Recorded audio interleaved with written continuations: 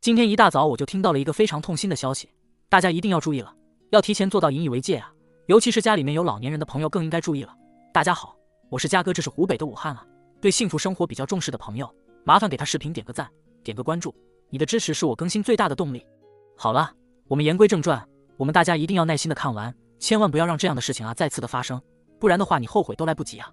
今天一大早，也就是早上的七点钟左右啊，我就听到了小区楼下有人嚷嚷，而且还伴随着哭声。因为我家是住在这个四楼嘛，所以说这个小区楼下有什么动静啊，我是听得非常的清楚啊。因为早上也是比较安静嘛，而且听到这个哭声还特别的熟悉啊，好像就是楼下这个李大妈的女儿啊，然后她在哭一样啊，我就赶紧的，然后这个穿好衣服下去了，才知道这个李大妈昨天晚上喝这个药啊走了呀。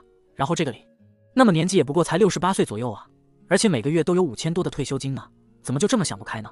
这究竟什么原因造成的悲剧呢？事情的真相真的是值得我们每个人深思啊。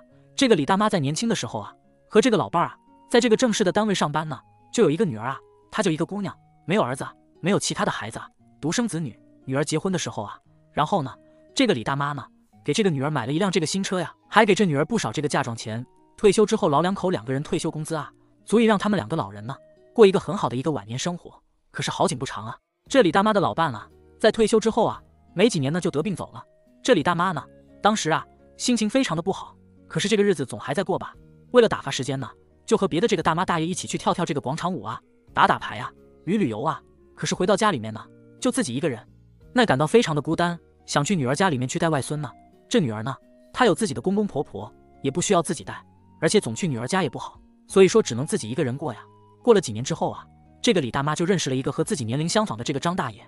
张大爷对这个李大妈特别的热心啊，家里面有什么东西坏了，这个张大爷总是忙前忙后的来修，自己呢。干不了了，就主动的找人来修。然而这个张大爷呢，也刚好是一个人啊，所以说相处了半年之后，两个人就想在一起过。可是李大妈的女儿知道了之后啊，特别的不同意，说这个张大爷是别有用心呢，想图这个李大妈的钱呢。毕竟这个张大爷就是一个普通的农民呢，没有退休工资，而且是这个小区里面干什么保洁的一个张大爷。而且这个张大爷还有一个儿子，这个李大妈的姑娘呢，就怕自己老妈这个钱呢被骗了。